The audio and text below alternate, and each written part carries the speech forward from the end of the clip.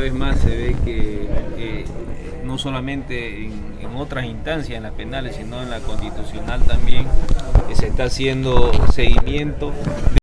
del socialismo y obedecen única y exclusivamente a esas leyes. Como dijimos en un principio, se privó eh, que puedan participar las diputadas Luisa Nayer, la diputada Zenaida Rojas en esta acción, siendo que ellas son parte de esto, se le negó esa posibilidad y sin embargo se admitieron eh, cosas fuera de horario eh, a la gente del INE. Eh, lastimosamente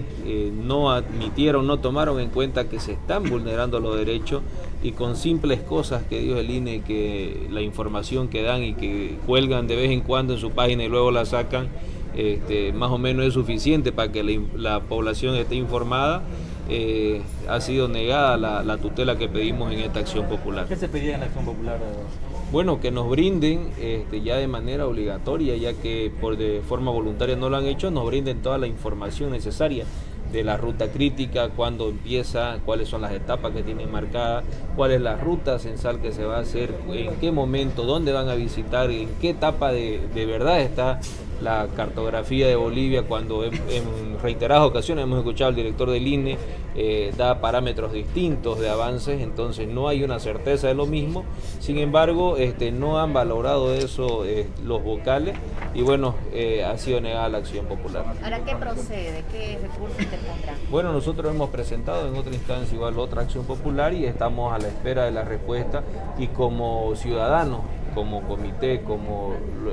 por su lado eh, la comisión interinstitucional, también seguiremos buscando acciones para que no se vulneren los derechos de todos los bolivianos. Estamos peleando por el derecho de absolutamente todo y todos tenemos el derecho a que nos den una información real y fidedigna de lo que está ocurriendo en cada una de las etapas del censo, del censo que sabemos que no las tiene, por eso es que no las dan, pero obviamente eh, el movimiento del socialismo muy astutamente hace que todos en los niveles de Estado distintos de gobierno pues obedezcan y eso se ha visto una vez más el día de hoy. Doctor Álvarez, ¿qué va a hacer la sociedad civil en este caso? ¿Le han negado la acción popular?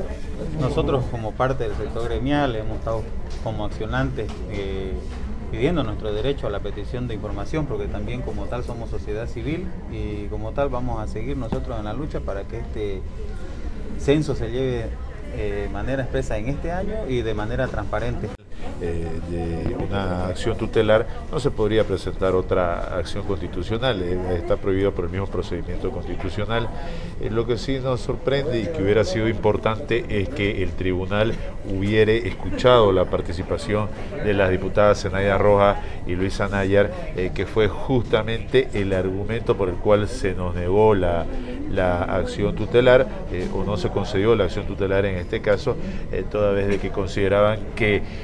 los derechos vulnerados no afectaban a la colectividad, entendiendo que como diputadas o asambleístas nacionales pues eh, representan a una colectividad de personas. ¿Esta es una decisión de este tribunal eh, política o cómo lo califican? Eh, evidentemente todos los hechos en donde están involucrados instituciones del gobierno son, merecen o tienen un tratamiento político y ejercen presión sobre las autoridades jurisdiccionales, en este caso sobre la sala constitucional. así que no nos extraña la resolución de, todos modos, seguimos nosotros eh, junto al Comité Pro Santa Cruz presentando las acciones legales correspondientes. Porque brilla por su ausencia, porque no quiere transparentar, ni coordinar, ni dar información acerca del proceso censal, porque la ministra no aparece ni técnica ni políticamente, no quiere coordinar, no le da la gana de dialogar con gobernaciones, con alcaldías, con instituciones, con universidades. Nos ha faltado el respeto en dos ocasiones, ausentándose injustificadamente a una petición de informe oral a la Comisión de Autonomía, es que nos hemos visto en la obligación como parlamentarios de creemos a presentar una interpelación en los próximos días a la ministra de Planificación.